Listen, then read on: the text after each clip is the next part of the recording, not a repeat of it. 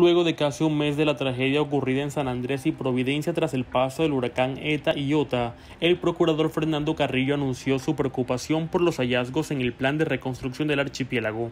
Y queremos saber qué está pasando con el plan de reconstrucción. Queremos saber cómo se han invertido los recursos públicos las señales hasta este momento son preocupantes. Otra de las preocupaciones del procurador es el millonario contrato firmado en San Andrés para iluminación navideña, que supera los 1.500 millones de pesos.